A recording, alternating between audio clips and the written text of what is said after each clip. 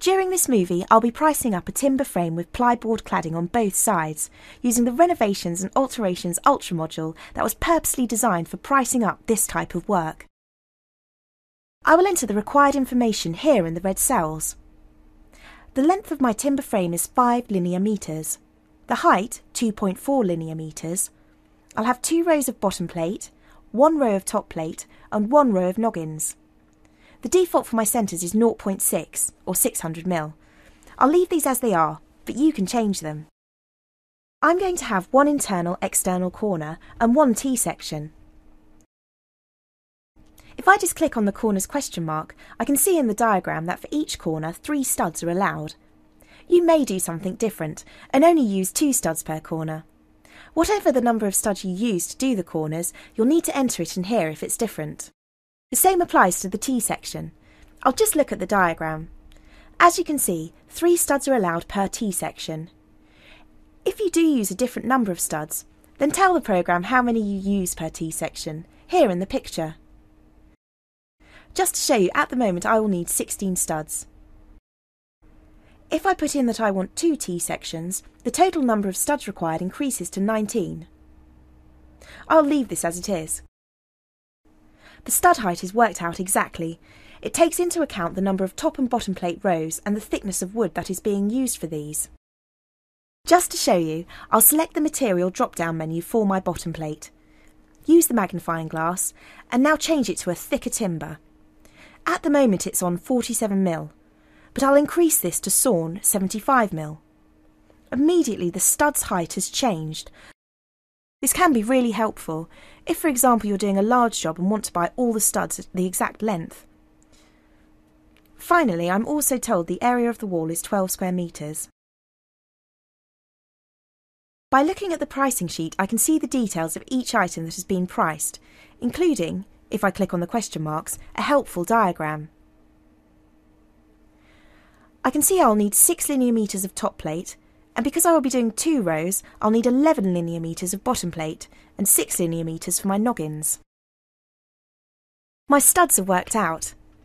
As wastage is allowed, I will want 21 studs.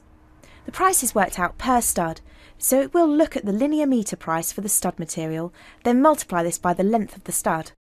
I'll just click on the above opening supports question mark. If you have any openings for doors or windows in your timber frame, then you will need to enter the details of the above opening supports, as it's impossible for the programme to know this. I'll need to allow for 1.2 linear metres of above opening supports, and I'll enter this number here. I will leave the default material as it is, but you can pick something different. I'll be using the default polythene for my membrane, and I will need one roll. You can choose something different if you want. The module does allow for a secondary membrane here. I will not be using this, so I just untick the box. I'm also given two options for my insulation. This allows me to price for insulation in the wall and insulation going on top of the studs. Again, I will not be using the secondary insulation on my job, so I will untick it. But if you need it, you would just check you are happy with the material selection and leave it in. I can now see the structural cladding costs. This is the plyboard. I'll be using the default 9mm exterior ply. I'll want 9 sheets and it will take me just over 3 hours to do this section of the work. If you want to use a different material, you can select it here in the drop-down menu.